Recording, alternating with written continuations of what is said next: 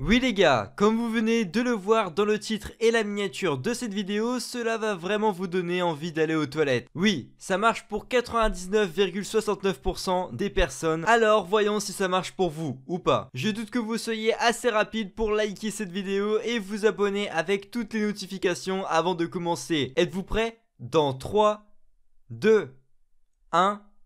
Maintenant, continuez à regarder le centre de cette vidéo et ne clignez pas des yeux pendant 10 secondes.